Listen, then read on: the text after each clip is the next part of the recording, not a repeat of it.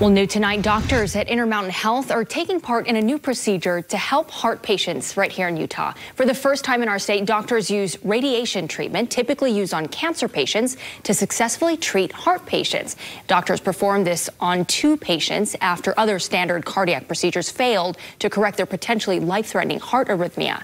Intermountain Health says they are hopeful this will provide new hope for patients who don't respond well to standard cardiac therapy. 45 is the new 50, at least when it comes to screening for colon cancer. For Your Life, Your Health, new specialist Ayana Likens shares one man's story on how screening before 50 may have saved his life. Jeffrey Gray lives for the Christmas season. Been blessed with a look that is pretty specific he and his wife give back to the community and go to events as Mr. and Mrs. Claus. Last Christmas season, they decided to take a day off and both get a colonoscopy. My wife and I, we decided to have an awesome date night. So why not go in and drink some fun substances and, and laugh at each other on the toilet. During the screening, Dr. Holly Clark at Intermountain Health's Heber Valley Hospital used new technology called the GI Genius, and it found something abnormal in Jeffrey's screening. GI Genius picked up this very subtle abnormality near his appendix, and um, it was biopsied, and sure enough, we found a tumor. Doctors say the GI Genius helps identify smaller polyps traditional scans may miss, and they were safely able to remove Jeffrey's tumor who knows what it could have metastasized into.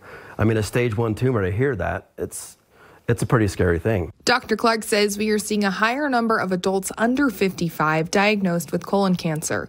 She said in 1995, only 10% of people under 55 were diagnosed with colon cancer. Last year, it went up to 21%. So, really, a striking change, and we're not sure why. She says to reduce your risk, eat a plant based diet, limit your intake of char grilled meat and red meat, get more exercise, and don't smoke. Those steps won't entirely remove the risk. She says colon cancer can also be linked to genetics. These risk factors are, are, kind of common sense things that prevent not only colon cancer, but can help prevent other cancers and heart disease as well. Jeffrey says he is so thankful that he went to get a colonoscopy before 50.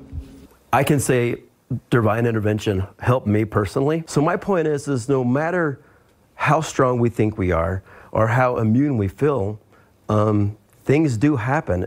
And Dr. Clark says it's important to get your colonoscopy done because colon cancer doesn't present any symptoms until it's too late.